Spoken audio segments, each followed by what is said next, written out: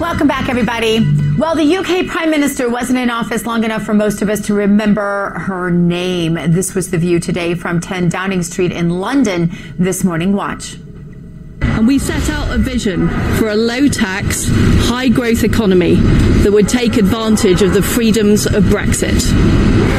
I recognise, though, given the situation, I cannot deliver the mandate on which I was elected by the Conservative Party. I have therefore spoken to His Majesty the King to notify him that I am resigning as leader of the Conservative Party. All right, Liz Truss resigned after just 44 days of mismanagement of the British economy, making her the shortest prime minister in British history. So, what do we have to do to get Joe Biden to do the same? Well, let's head over to London. Thomas Mace Archer Mills joins us now. Thomas, great to see you. Thomas, I must say, I'm impressed that she realized she wasn't up to the job. She left and said, find someone else. I would love for Joe Biden to come to that realization, but seriously, was she taking the blame for what was handed to her, or was she really bad at handling what was what she needed to accomplish as prime minister? Well, she said right there that the mandate, Dr. Gina, was something that she could not actually pull out. Uh, she was damned if she did, damned if she didn't from the beginning. And uh, this is unfortunate because we have a government in turmoil. We've got a Conservative Party which is absolutely in the dreads. And uh, we just sit here and say, right, but what does the great British public think? What are they understanding? And the answer to that is they're not understanding much. And that's the, the absolute craziness of our parliamentary system here. She was given a mandate not by the people of Britain, but by her party, the Conservative Party. The only one that was given a direct mandate by the country was Boris Johnson. So, and that was to 2025. So this is why you're seeing infighting in the Conservative Party. This is why you're seeing MPs dropping like flies. I mean, prime ministers dropping like flies, because the mandate is for the manifesto. The mandate is for the leader of the party, and that is a timed term of five years. So at this point, Noreen Dorries said it the best that Boris, if you're not going to actually bring him back who had the mandate, then it needs to be a general election. We are in turmoil here, Dr. Gina.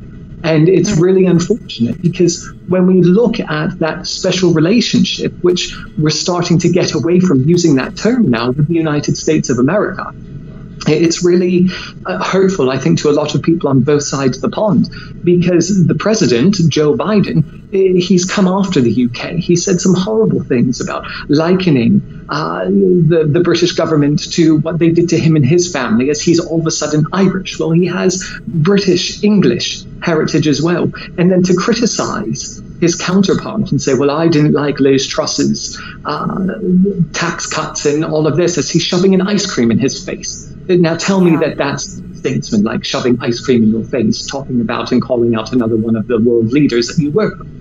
So, uh, you know, it's just something that we need to get together here. This is embarrassing for the party, it's embarrassing for the British people, and it's embarrassing for the new king who actually paraded around the country with his new prime minister to show that not much was going to change. And if the king is hmm. smart, he'll say to the next Conservative Party leader, right, you better get it right this time because I'm not playing this game.